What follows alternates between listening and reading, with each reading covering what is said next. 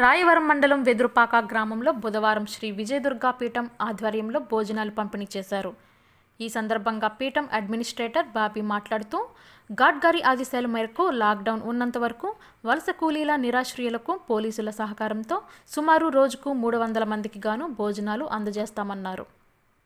ఈ కార్యక్రమంలో విజయదుర్గా పీఠం అడ్మినిస్ట్రేటర్ బాపిరాజు ధర్మారెడ్డి తదితరులు ఈ కార్యక్రమంలో పాల్గొన్నారు. Okay sir. ఓం శ్రీ గాడ్ గురుభ్యో నమ. శ్రీ విజయదుర్గాదేవి నమ.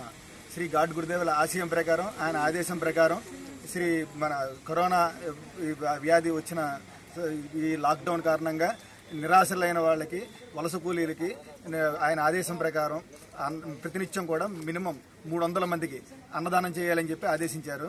అలాగే ఈ పోలీస్ శాఖ వారి సహాయంతో నిరాశలైన వారు ఎక్కడెక్కడ ఉన్నారో తెలుసుకుని మీడియా ద్వారా అక్కడికి వెళ్ళి వాళ్ళందరికీ పంచడం జరుగుతోంది. ఈ ప్రతి ప్ర- ఇది లాక్డౌన్ ఉన్నంతకాలం కూడా మేము చే- విజయదుర్గ సేవా సమితి తరపున చేస్తామని చెప్పి తెలియజేసుకుంటున్నాము.